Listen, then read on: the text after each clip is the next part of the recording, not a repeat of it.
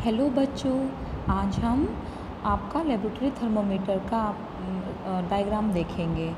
Laboratory thermometer में आपका bulb होता है, एक एंड में बल्ब में मरकरी होता है और ये आपका ग्लास ट्यूब से बना होता है और जिसमें मरकरी का लेवल रेज होता है, वो है आपका कैपिलरी ट्यूब इसमें जो आपका टेम्परेचर का जो रेंज होता है, वो होता है minus ten degree centigrade to one hundred ten degree centigrade ये जो लेबोरेटरी थर्मोमीटर होता है, जैसा कि इसका नाम है, ये आपका यूज़ किया जाता है लेबोरेटरीज़ में या आपका कोई भी साइंटिफिक पर्पस के लिए।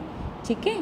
और इसका जो रेंज होता है वो होता है minus ten degree centigrade to one hundred ten degree centigrade इसका मतलब ये क्लिनिकल थर्मोमीटर से इसका रेंज काफ़ी ज़्यादा है ओके सो so, अब हम डिफरेंस देखेंगे कि जो क्लिनिकल थर्मोमीटर है और आपका लेबोरेटरी थर्मोमीटर है उसमें क्या डिफरेंस है?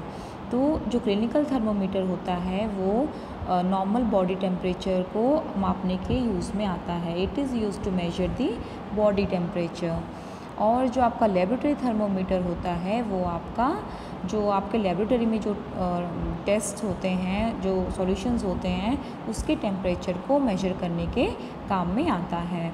अब जो क्लिनिकल थर्मोमीटर है वो उसका जो रेंज होता है टेम्परेचर का, वो होता है 35 degree centigrade to 42 degree centigrade और अगर आप इसको फ़ारेनहाइट में देखें तो 94 degree Fahrenheit to 108 degree Fahrenheit जबकि जो आपका लेबोरेटरी थर्मोमीटर होता है, उसका रेंज होता है minus ten degree centigrade to 110 degree centigrade जो कि आपका क्लिनिकल थर्मोमीटर से बहुत ज़्यादा है।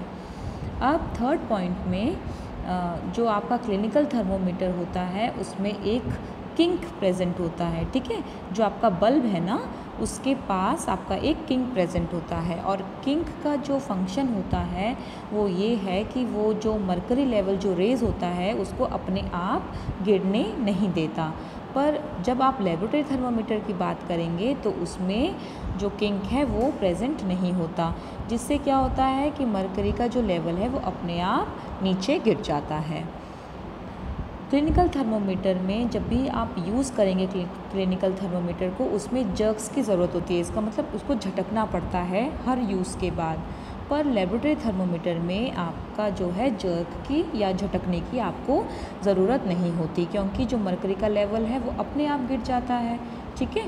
Now last point of clinical thermometer is जो है आपका टेम्परेचर अगर आप जो क्लिनिकल थर्मोमीटर यूज़ कर रहे हैं तो जैसे आप इसको अपने टंग में रख, टंग के नीचे रखते हैं, ओके? तो आप इसको रिमूव करके भी आप उसका जो है मेजर टेम्परेचर का मेजर है, वो कर सकते हैं, ले सकते हैं आप टेम्परेचर का मेजर ठीक है?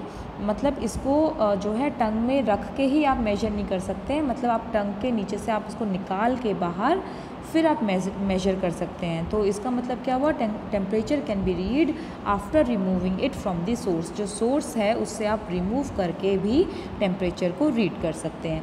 पर लेबोरेटरी थर्मोमीटर में जब आप रीड करेंगे तो वो सोर्स के कांटेक्ट में होना चाहिए। जैसे फॉर एग्ज़ाम्पल अगर आपको वाटर का टेम्परेचर देखना है तो आपको, आप जब लेबोरेटरी थर्मोमीटर को वाटर में डिप करेंगे, ठीक है? तो आपको डिप करते हुए ही आपको उसका टेम्परेचर लेना है। अगर आप उसको वाटर से बाहर निकाल देंगे तो वो टेम्परेचर गलत दिखाएगा, ठीक है? वो जो टेम्परेचर है वो गलत है। तो जो आपका लेबोरेटरी थर्मोमीटर में जो है, आपका जो टेम्परेचर है वो आपका सोर्स के कांटेक्ट में ही रहना चाहिए, ठीक है? आई मीन जो जो आप टेम्परेचर तभी ले सकते हैं जब आपका जो थर्मोमीटर है वो सोर्स के कांटेक्ट में ही है। okay? So uh, this is all for today. Thank you.